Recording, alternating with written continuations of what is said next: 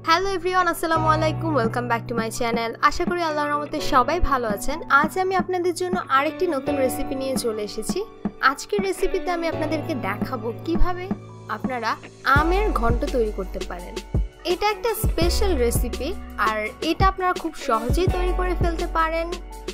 আপনারা চাইলে এই রেসিপিটা বিকালের নাস্তায় অথবা বাচ্চাদের টিফিনেও দিতে পারেন, তবে সেটার প্রসেসটা আমি আপনাদেরকে দেখিয়ে দেব।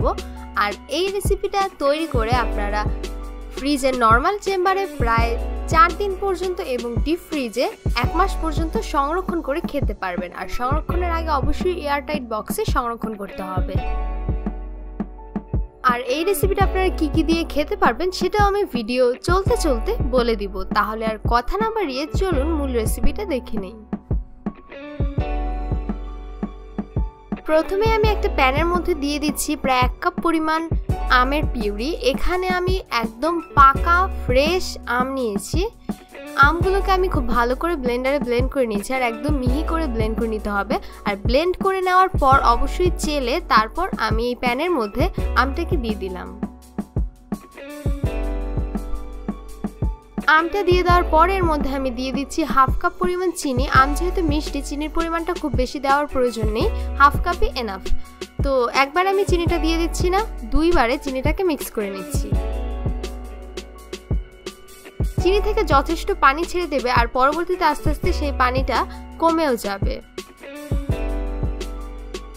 এবার আমি একটা বাটিতে দুই টেবিল চামচ কর্নফ্লাওয়ার আর তিন টেবিল চামচ দুধ খুব ভালো করে মিক্স করে নিচ্ছি। দুধটা অবশ্যই রুম টেম্পারেচারে থাকতে হবে। গরম দুধ ব্যবহার করা যাবে না। কর্নফ্লাওয়ারটা দুধের সাথে খুব ভালো করে মিক্স করে নিতে হবে যাতে করে কোনো রকম কোনো লামস না থাকে। কর্নফ্লাওয়ারটা আমি মিক্স করে নিচ্ছি মিক্স করে একটা সাইডে রেখে দিব। এরই মধ্যে চিনি গলে গিয়ে আমের মধ্যে যে পরিমাণ পানি উঠেছিল সেই পানিটাও কিন্তু অলরেডি কমে গিয়েছে। এখন আমি এর মধ্যে এক কাপ দুধ অল্প অল্প করে তিনবারে দিয়ে মিক্স করে নিব।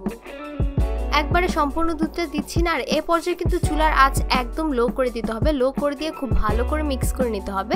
মিক্স করে নেওয়া হয়ে গেলে এরপর আমি কর্নফ্লাওয়ারটাকে দিয়ে দিব। তো দুধটা খুব ভালো করে মিক্স করে নিয়েছি।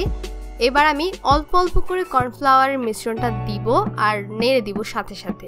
কারণ এ পর্যায়ে খুব তাড়াতাড়ি নেড়ে দিতে হবে, তা না হলে কিন্তু দলা পেকে যাবে। খেয়াল রাখতে হবে যাতে দলা না পেকে যায়।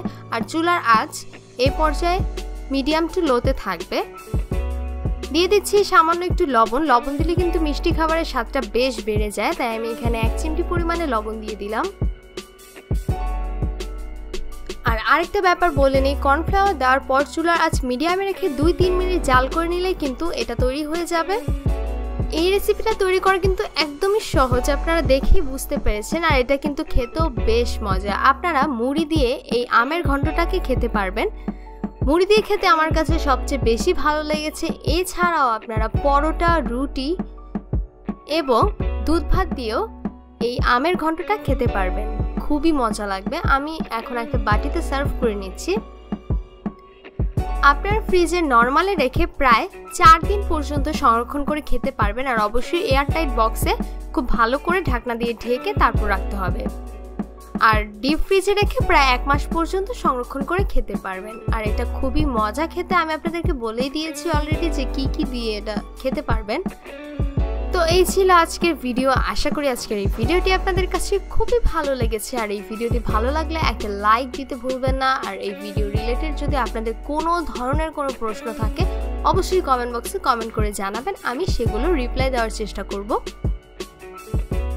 সবাই প্লিজ আমার চ্যানেলটাকে সাবস্ক্রাইব করে দেবেন। আপনাদের একটা লাইক কমেন্ট শেয়ার আমাকে অনেক উৎসাহ করে নতুন নতুন ভিডিও আপলোড করার জন্য। আর আপনারা অবশ্যই কমেন্ট বক্সে আমাকে সাজেস্ট করতে পারেন যে কিসের ভিডিও বা কোন ধরনের ভিডিও আপনারা চান বা কোন রান্নার ভিডিওটাই বা আপনারা চান। তাহলে আজকের মতো আমি এখানেই বিদায় নিচ্ছি। সবাই অনেক বেশি ভালো থাকবেন, সুস্থ থাকবেন। সবাই সবার জন্য দোয়া করবেন। আল্লাহ হাফেজ।